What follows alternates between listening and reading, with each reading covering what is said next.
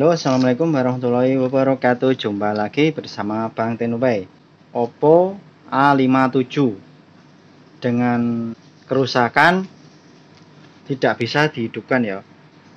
Jika ditekan tombol power Muncul logo Oppo lalu mati. Jadi kita telusuri dulu berdasarkan kerusakan fisiknya ya nah gini ya langsung mati. Tapi jika kita nyalakan sambil dicas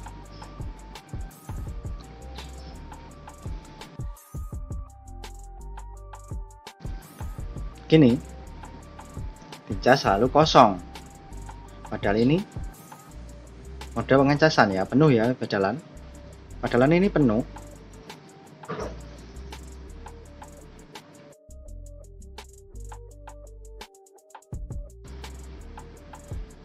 Jika kita nyalakan sambil dicas seperti ini, HP bisa hidup sampai menu sebentar, lalu mati lagi. Oke, kita tunggu dulu ya. Kita buktikan. Ini masih loading. Nah, ini ya, sudah bisa masuk menu.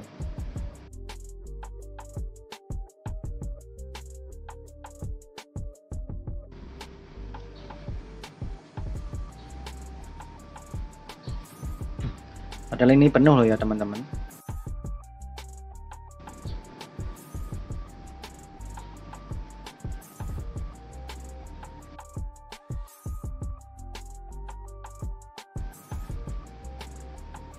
Nah sekarang kita cabut. Nah matikan. Seperti ini.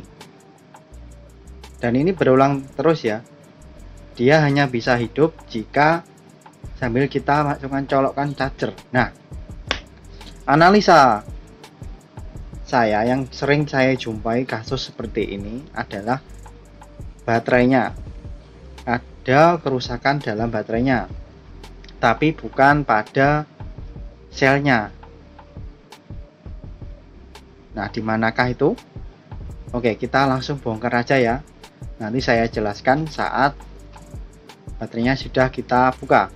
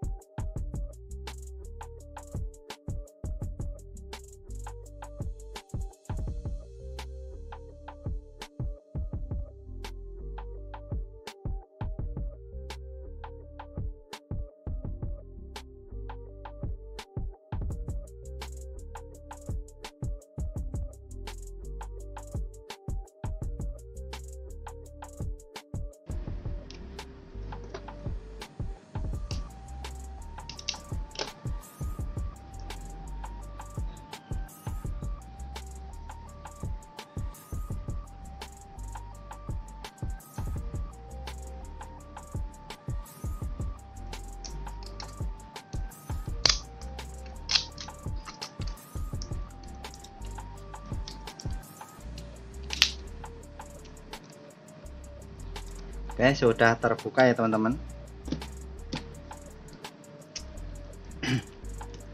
Nah, saatnya kita servis ini baterai ya.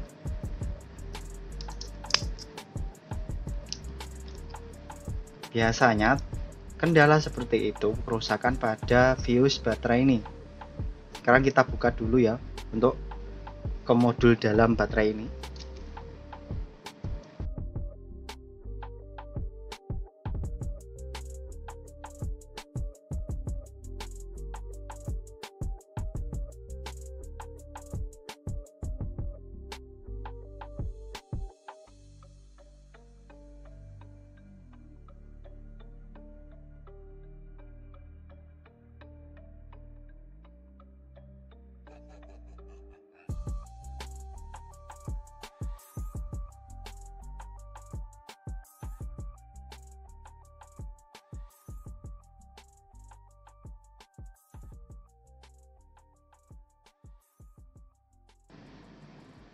Nah ini teman-teman ya bisa kelihatan. Nah ini bisa jelas di kamera ya. Kalau di HP Xiaomi Tulisannya Q ya R views nya Tapi kalau di HP Oppo Tulisannya apa ini? PLK Nah jadi Seperti itu ya R views pada HP Oppo. Dan biasanya R views bisa fotos atau setengah fotos saat baterai ini di charge sudah full tapi tidak dicabut-cabut. Jadi ada kelebihan tegangan di sini sehingga memutuskan air fuse pada modul ini. Jadi untuk pengaman ya sebenarnya kehadiran dari air fuse pada modul baterai ini. Kemudian kita akan jumper ini air fuse nya menggunakan baterai baterai. Menggunakan kabel serabut yang tipis ya. Sebagai pengganti air fuse yang kita jumper jadi fungsinya nanti tetap. Kabel itu nanti kita fungsikan sebagai air fuse. Dan apabila nanti ada short circuit pada baterai ini atau kelebihan tegangan maka kabel yang kita pasangkan pada Airvios di sini nanti bisa putus kembali. Jadi saran untuk teman-teman ya kalau mau menjemper modul dari baterai ini menjemper Airviews dari modul baterai ini gunakan kabel yang tipis saja agar fungsi dari fuse tetap tetap ada ya. Jadi apabila teman-teman bertanya apakah ini aman? Jawabannya aman apabila teman-teman jumpernya dengan kabel yang kecil. Tidak jangan gunakan kabel yang gede-gede. Nanti karena jika ada short circuit di baterai ini jika terlalu besar kabelnya tidak mampu memutuskan arusnya ya. Oke kita langsung saja kita jumper dan kamera kamera kita dekatkan supaya lebih jelas ya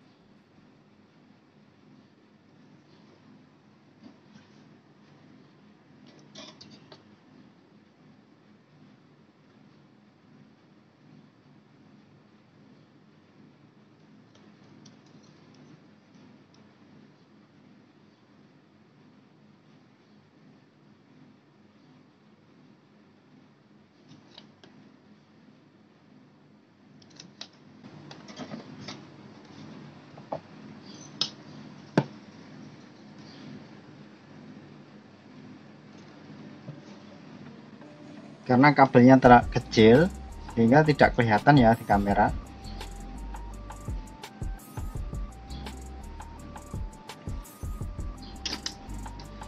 Ini ya saya tunjukkan. Ini.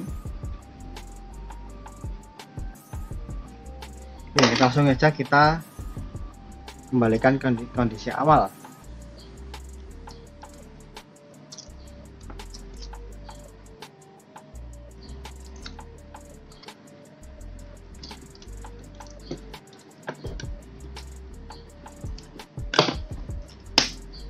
HP saatnya kita coba.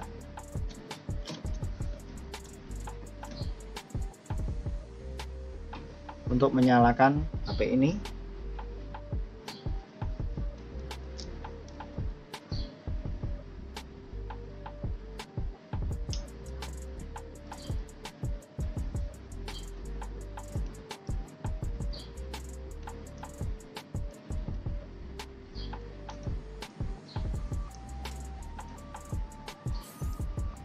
Oke, kita nyalakan.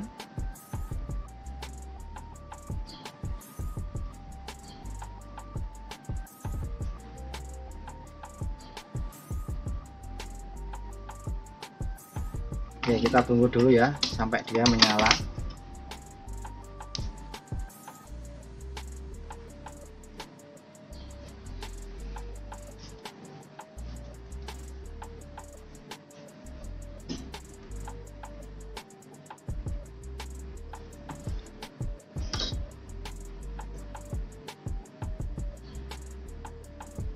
Ini masih loading ya teman-teman.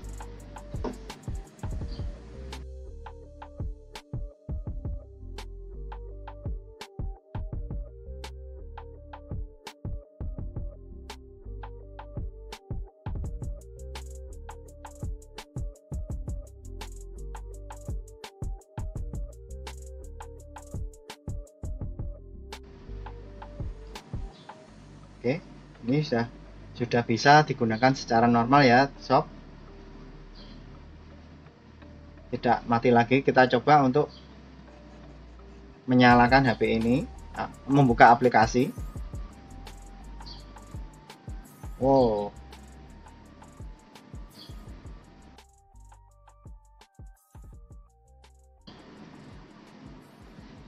Bisa digunakan secara normal tanpa mencolokkan ke chargernya. Semoga video ini bisa diambil manfaat. Assalamualaikum warahmatullahi wabarakatuh. Oke nanti saya lem dulu ini supaya tidak lepas. Dadah